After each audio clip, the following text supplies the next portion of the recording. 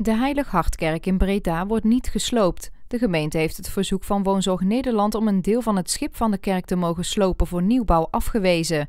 De gemeente wil dat eerst een haalbaarheidsonderzoek wordt gedaan naar de mogelijkheid van een herbestemming van de kerk. Het onderzoek wordt uitgevoerd door de Stichting Toekomst, de Vereniging Behoud Heilig Hartkerk en adviseurs op het gebied van erfgoed en wordt in juni afgerond.